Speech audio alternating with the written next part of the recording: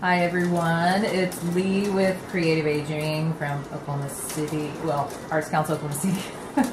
anyway, as you can hear, perhaps it it's raining outside, so hopefully you can hear me all right with the rain. But the rain is good in spring.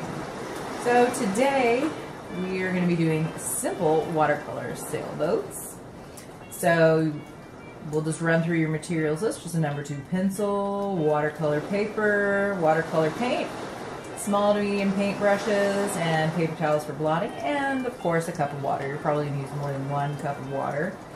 So anyway, and as per the usual, the last stuff we're going to do, just we're going to start with just a simple pencil drawing and we're going to do some more, you know, watercolor washes and we're going to do a little bit of, you know, water and just a little bit of sky. We'll do some loose um, with lots of water and a little bit of paint. So anyway, all right, well, let's get started. Hello. very much. Okay. And as with all of this, you know, you know, you get to feel free to use whatever colors you want to do. Um, I'm just because it, you know you want to make it your own, and I'm gonna get in here. Let's start with this one, and and I put the word simple today back in the uh, watercolor because uh, it really is simple. I, I, thought I would start, we haven't really done sailboats before, so we're going to do, um, like I said, start with just a simple drawing. And then this, just focus on the basic shapes, you know, kind of triangular shapes and just the bottom of the boat this one has a little person in it. You certainly don't have to have a person in it. I've got a couple of other examples that I'll do and show you as well. So start with the, and honestly, I drew this kind of heavy, so if doing watercolor is actually a little bit easier if you do your pencils um, lighter, as I'm sure you guys know this, as I've harped on it before. So I've got a few different sizes of brushes and really in this instance just use what you're comfortable with. And I always like paper towel, so let's see. Okay. All right. Hmm. I'll try not to get my arm in the way all the time. Let's see. Okay. And remember, you know, anytime with watercolor, initially, especially, less is more. So we'll start with a light. Just kind of like, I'll start down here with the boat. And I've just got, I'm using a lot of water and just a little bit of paint with this golden color. And then we can blend, do a little color blending by adding another color while it's still kind of wet. And I've got a brown here, and I'm using a lot of water too with it, so. And then you can go, oh my gosh, that's a whole lot of brown. And that's fine, just keep putting water in your brush, and then see, I'm just kind of mixing it in here.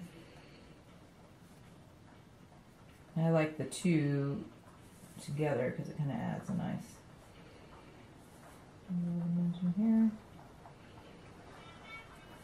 And then if you think you have too much color, then you can just put water on your brush and pull some of it off and then blot it on your paper towel and so that way you're pulling some of that color off. And basically what you know I'm doing right now is just getting a layer of color into the drawing. And you can cut you want you we're gonna come back later and add darker bits. And so we've got a little bit of a underpainting here. And if you think some of it seems a little too dark, then just come back with some water. And that always adds a nice little visual effect too. Okay.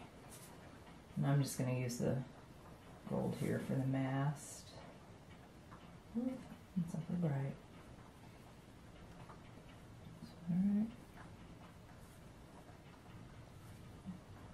Now it's not quite as loud out there. Boy, raining pretty hard. Hopefully it won't hail during this, but, you know, it'll be fine if it does. Okay. So see, I'm just going around, and now with the little, I don't know, strings is not probably the right sailing term, so forgive me for those of you who are sailors. Just the cord that secures the different sails. Um, we can just leave that as a pencil line, you know, or later you can use a small brush if you want to put those in. And so now I'm going to choose some colors just to, you can do stripes or you can have your sail be one color or, you know, I'm a fan of lots of colors. So I'm going to go in here and just do, I'm still, I'm just using a lot of water with the paint just because I want to get a base coat down in here. You know, and, and watercolor really is designed to be translucent. So we're, gonna, we're using more water um, than I think I did in the barns too. So add some yellow. Well, this is orange actually. Got adding some more water here. And I, you know, in the drawing, I kind of curved the line so to kind of give a little dimension to the sail, so it looks like it's actually kind of blowing and curving with the wind's hitting it. Okay.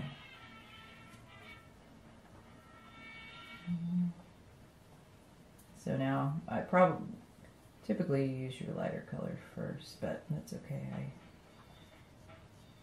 I don't have the water's not really dirty, and I'm not really blending these on top of each other right now, so.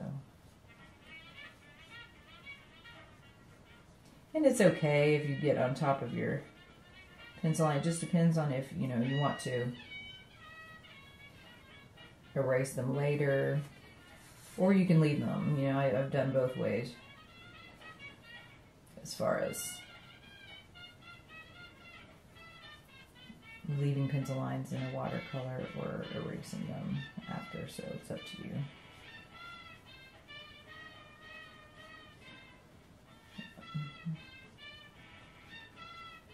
Okay,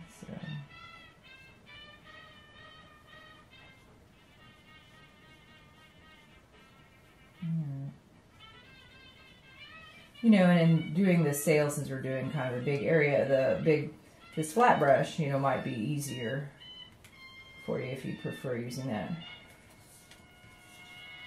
Like I say, it's just whatever you're comfortable with. You know, and blue gets dark really fast, so I want to make sure I use a lot of water with this.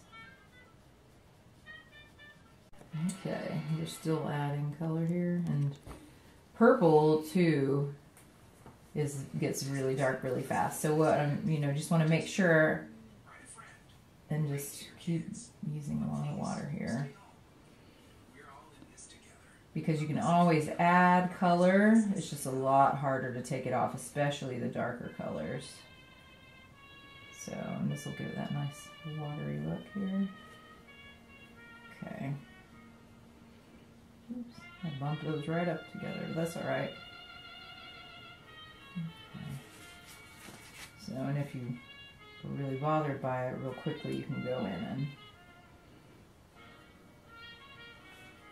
remove a little bit, but that's not that big of a deal. So, okay. Okay, and let's start with some red again. So, same thing.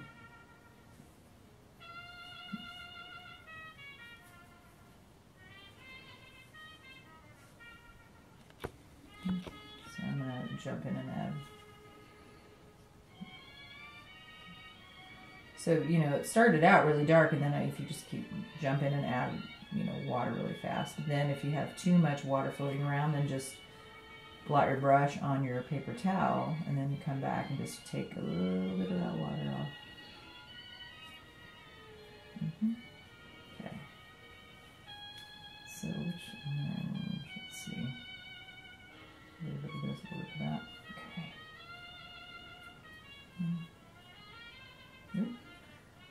See, just a little bit of watercolor goes a long way, so we'll just kind of spread this out. Okay. So we have a festive sail and then we can do more color over here or we can just kind of keep it kind of a creamy. So we'll take a little bit of the gold. This, I'm just, since this is already one color, well, not one color, so I'll take the gold and I'm going to mix a little bit of this kind of peachy color in it. Mm -hmm. Just kind of spread it because then that kind of gives it a creamy color and we add more water. Oop. out.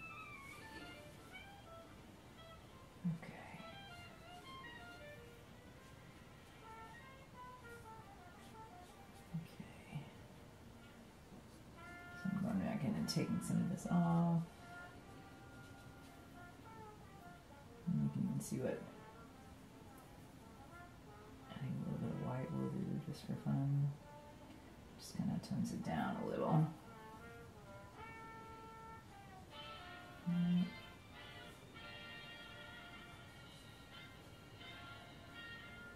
Okay. So we're kind of getting in our base tones. You know, hmm. If this were all, you know, a silhouette, that'd be one thing and the person would just be solid. So you can make the person a silhouette if you want, or you can actually kind of paint details in. It's really up to you. So what I'm going to do right now is I'm going to get some fresh water here. And we'll take the flat brush.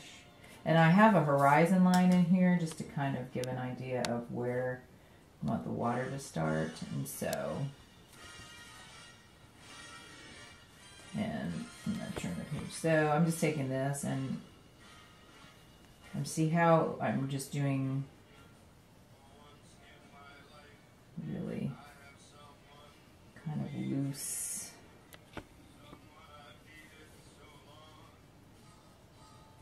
And uh, hmm. I'm just moving it really fast and down here, you know, I'm just kind of pushing it off to kind of fade it out because I don't really want the water to look really solid, but I want to kind of come up here and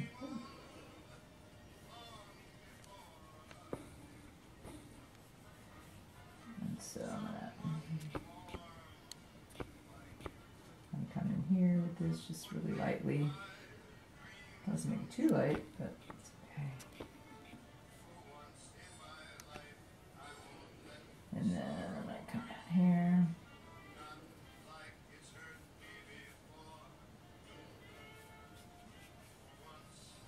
So we're going to add some darker tones to this. Um, this just kind of gets, so you can kind of do some water, but you don't have to do a lot. I kind of personally like it when it doesn't, it's not solid water down on your picture, but you can, I thought it would be kind of something different to do, and if the, I'm having a hard time getting of this back up. That's okay. So I like to fan it out a little bit here on the edges. Okay, so that kind of gives you a soft idea of how the water's starting.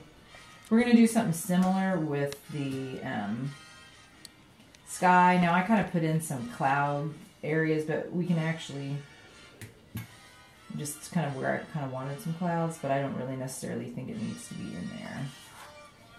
So what I'm to do really quick is ooh, shake the whole table. I'm to erase this really fast. Always handy to have a big eraser. It's my friend. Ooh. But don't mess up your paper. Almost threw it off on the floor. And you can certainly make very distinct cloud shapes too. That's perfectly fine if you're more comfortable with that. So all right, so what I'm going to do is start with a little bit darker blue. We're going to add some more dark blue down into the um, water, but I'm just to, we're using a lot of water in here too. And so just bounce your brush around And if you have a bigger brush, feel free to use your bigger brush too. I just kind of want to see how I'm just kind of, I'm holding the brush differently too. And I just kind of wanted to add a little bit of, so I'm actually pushing it away from the boat, the blue. So, and I'm just gonna, whoops, and I put that right on there, but it's okay. Pull this up. You know, the sky does go behind the boat, so it's totally fine. So, and just use a lot of water. And so I'm just kind of moving it around so it kind of creates a cloud-like effect, but you don't really want a distinct line like that. So you can also take your paper towel and blot it because that will pull up some of the blue.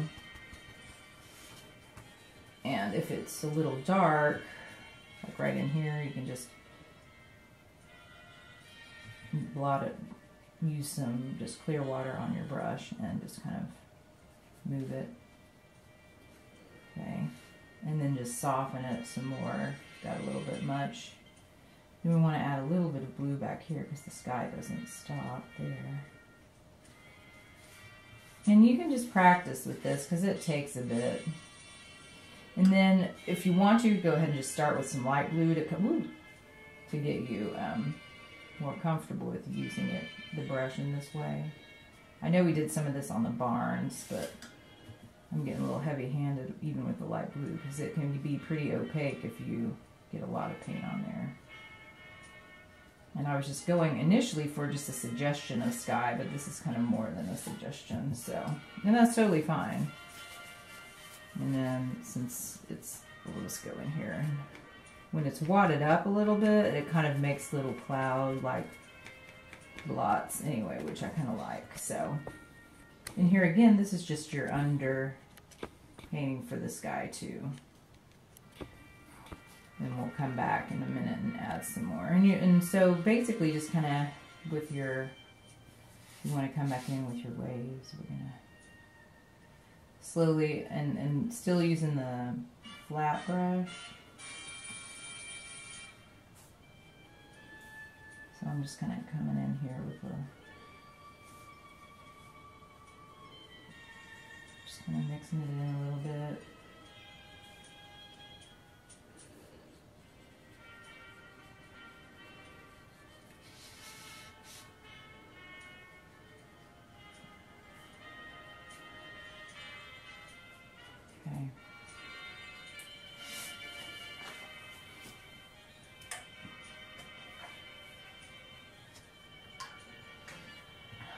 You guys should be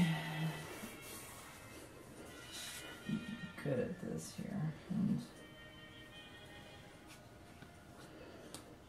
I'm just kind of pulling some paint off if you think you get get too many lines and you know and if you end up wanting just to if it, if you feel more comfortable filling the whole bottom of the painting with you know blue for the water that's totally fine too so we're all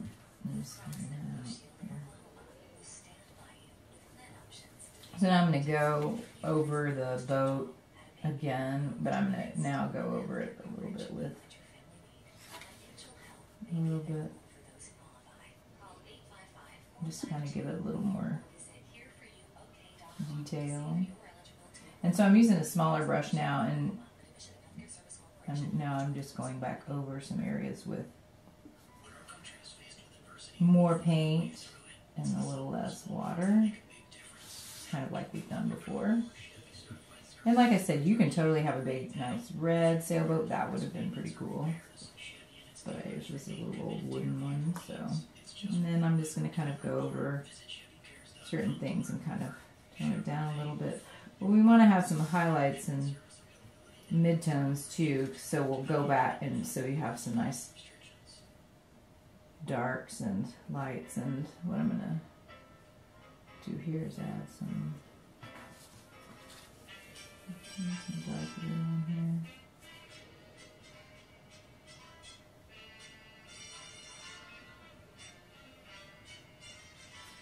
So we can really get the you want to get the paper pretty wet, but then you don't want to really scrub the paper because that can also lead to your paper pilling if you're. So I'm really kind of lightly brushing the paper with the brush, but. Ooh.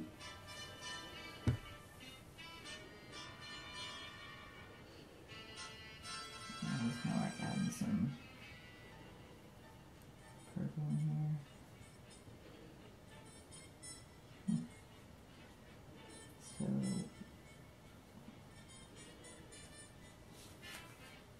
always more interesting and you get a lot more dimension if you add more than one color. Mhm. No, granted, it may not look right, but so you can have rainbow colored water if you want. Or it's just by adding like these little lines that kind of gives a sense of the water moving. It's gone beyond just being a suggestion of water, but that's alright. Okay.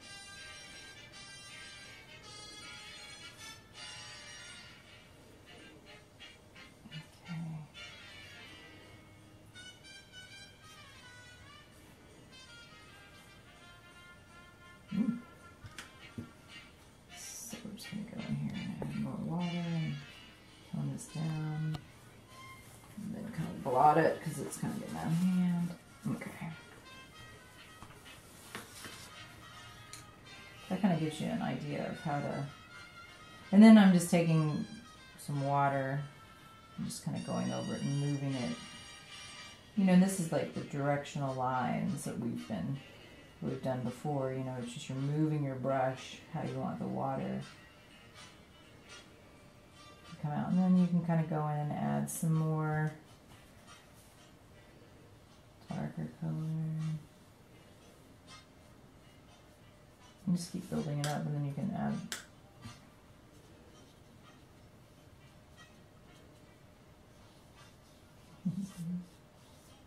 Just adding some more water here because I, I don't really want any hard lines, so you can just kind of come back and add some water on top. And then I'm going to have to let the this relax a little bit because I can tell that the paper is getting ready to be unhappy. So I'm gonna let this relax from being so wet. And then what I'm gonna do is I'm just gonna kind of blend this down. So I'm not, I'm bringing the water down, but I'm not really adding color, I'm just going to carry what's here and down so it can kind of fade out here. Ooh, okay. And then let's do a big, see, so I'm going to blot a lot of that off. Ooh. Maybe I took too much off, but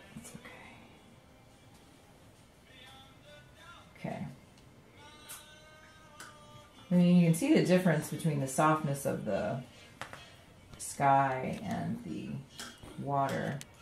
So I'm going to let this sit a minute, but I think what I'll do too is, you know, I'll come back in, but I what if you have a really hard edge like in purple or dark blue, I'm going to try to add something on top of it right now just to kind of tone it down. And then I'm just going to let it sit and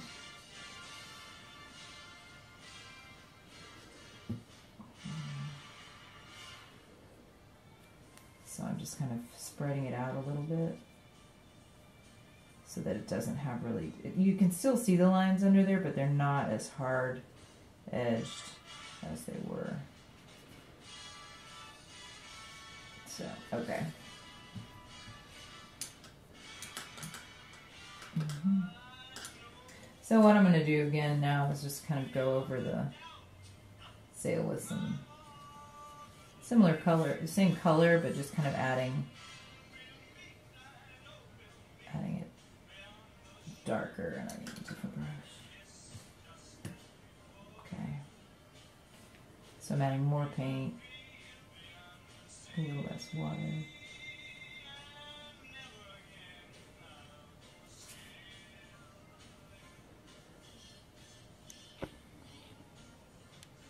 Okay, and I'll do the same. I'll do the same with the other colors then too, just to kind of add some dimension to it. See, this is totally doable. You all can do this. Watercolor's funny. You, you just have to be patient. Which I know is sometimes hard to do. So see, just by adding those extra, and this is going to dry a, a little bit lighter again. That's all right. You can still go in when it dries. And this you know, yellow is harder to see, but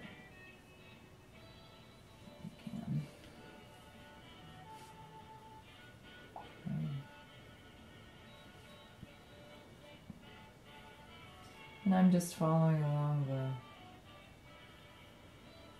sail line so it looks like it's curving.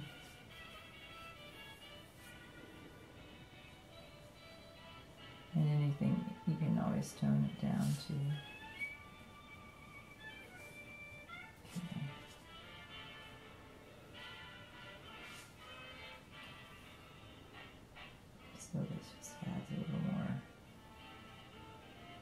Visual texture and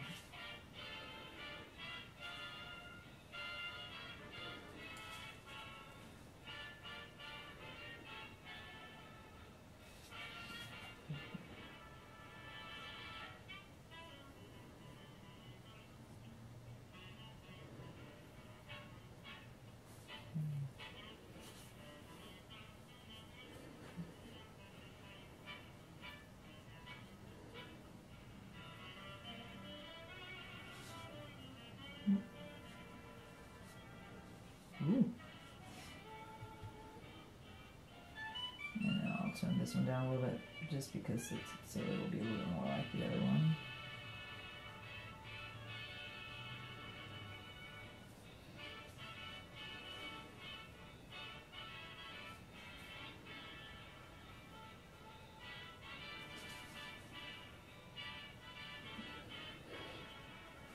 See, that's kind of coming together. It looks kind of like wind's blowing it across it a little bit. And I can take this gold on the yellow since you can see the other lines on the other ones better. So that way this one will have a little more dimension too. Ooh.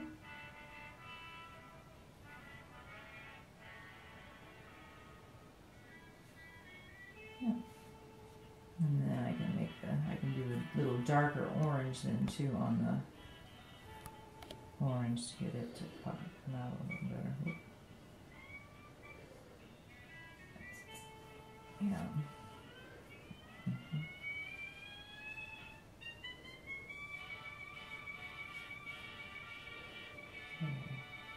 And sometimes it's just a matter of, you know, you put the paint on there and then you can blot it on the paper towel and then just keep moving the paint because your brush has enough moisture.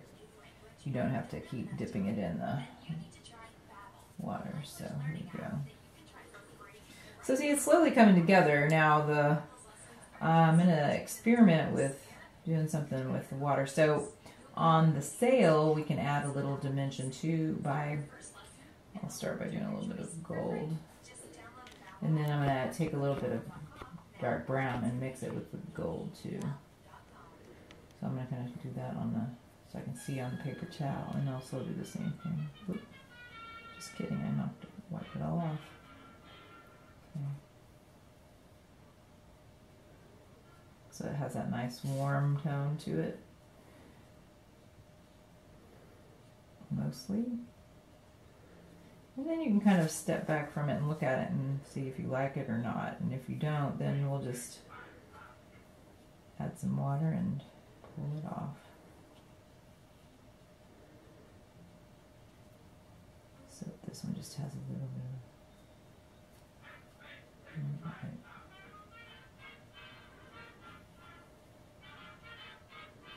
just adding a little bit of dimension and then.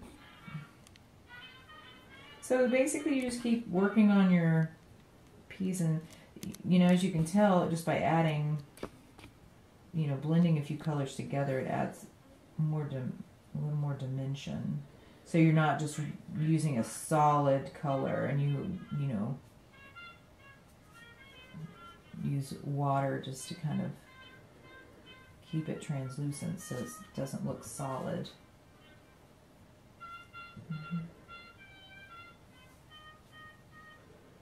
Okay. Hmm.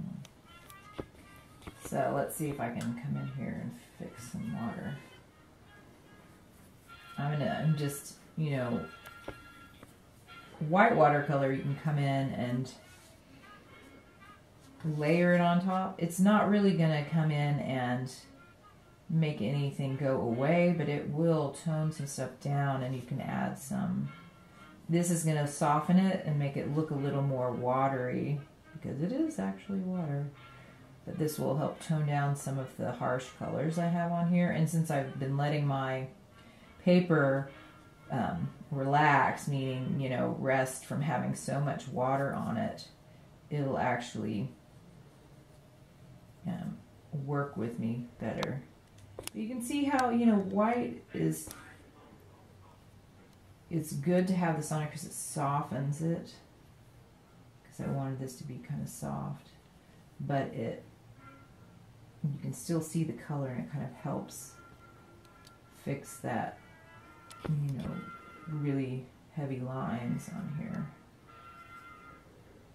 And then you can kind of spread it out and see see more of the work underneath.